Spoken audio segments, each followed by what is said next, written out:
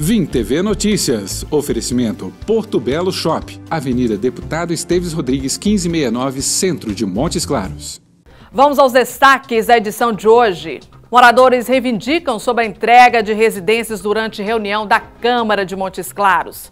E ainda, mãe, filho e mulher são presos por tráfico de drogas na cidade. E mais, tem notícias do esporte pela quarta rodada do Brasileirão. América empata com o Ceará. E nessa edição a gente vai entender um pouco mais sobre alienação parental. O Vim TV Notícias já está no ar.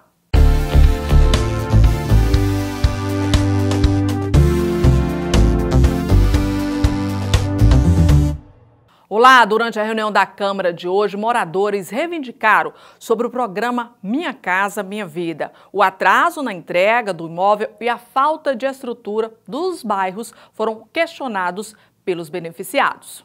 Dois projetos entraram na pauta desta terça-feira. Um deles desafeta um terreno para a construção de um CEMEI no bairro Jardim Brasil. A comunidade está aguardando, a região do Grande Santos Reis, no Jardim Brasil, a construção de um CEMEI, Centro de Educação é, Infantil.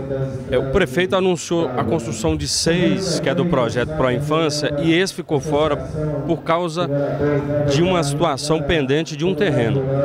Esse projeto que nós estamos votando hoje transforma uma área verde institucional e dá em compensação em outra região da cidade essa mesma área de 3.900 metros para se tornar área verde. Na reunião de hoje, contempladas no programa Minha Casa Minha Vida, reivindicaram a entrega das residências do conjunto habitacional Monte Sião 4. Há mais de dois anos, Dona Ivonete Soares espera receber a casa e sair do aluguel de 300 reais. E até hoje a gente não tem resposta nenhuma à entrega das casas. As casas estão lá fechadas, os vandalismos estão tá entrando, estão roubando, o mato está tomando conta e até agora a gente não tem uma resposta. Já esta cozinheira foi contemplada com uma residência no Monte Sião 2, mas precisa se deslocar para bairros distantes para ir a escolas e postos de saúde.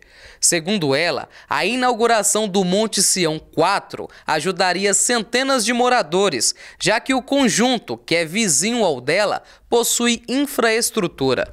Olha, eu moro no Monte Sião 2 há quatro anos. E desde quando a gente mudou para o Monte Sião, o Minas Gerais, o pessoal que mudou para o Minas Gerais logo depois, estamos completamente à mercê.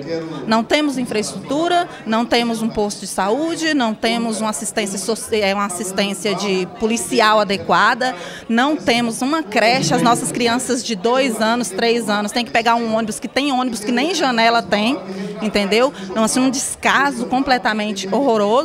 E o que, que acontece? Dentro do Monte Sião 4, eles construíram toda a nossa infraestrutura, porém não liberam as casas.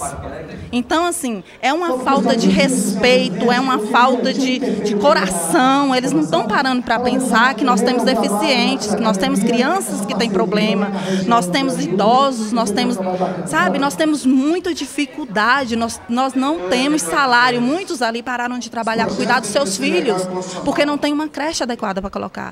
O projeto de lei foi aprovado durante a plenária. Sobre as reivindicações dos beneficiados do programa Minha Casa Minha Vida, nós entramos em contato com a Prefeitura, mas até o fechamento dessa edição, nós não obtivemos nenhum retorno sobre este caso.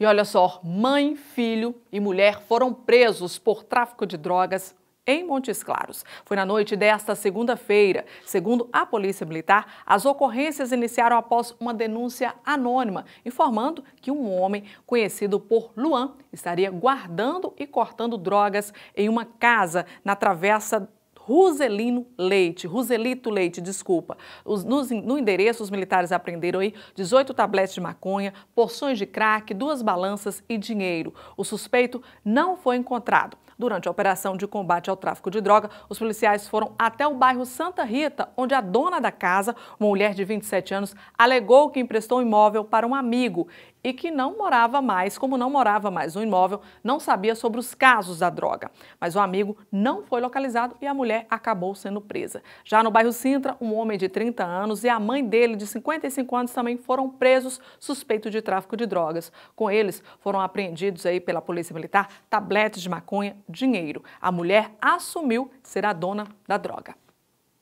E em Janaúba, no norte de Minas, um adolescente de 16 anos foi apreendido suspeito também de tráfico de drogas no bairro Novo Paraíso. De acordo com a Polícia Militar, durante um patrulhamento, os militares abordaram o jovem frente a uma casa com o portão aberto. No imóvel foram apreendidos aí um revólver, munições intactas, uma bolsa vermelha contendo aí sacos plásticos, além de pedras de crack, maconha, munições, dinheiro e celulares. A mãe do adolescente autorizou que os policiais fizessem uma busca no quarto do menor, onde também foi encontrada uma balança embaixo do colchão. O adolescente assumiu ser o dono do material e que também era comandante do tráfico na região. Todo o material foi apreendido e o menor também foi encaminhado para a delegacia. E no próximo bloco tem notícias do esporte aqui no VTV Notícias. É rapidinho, não saia daí. A gente volta já já.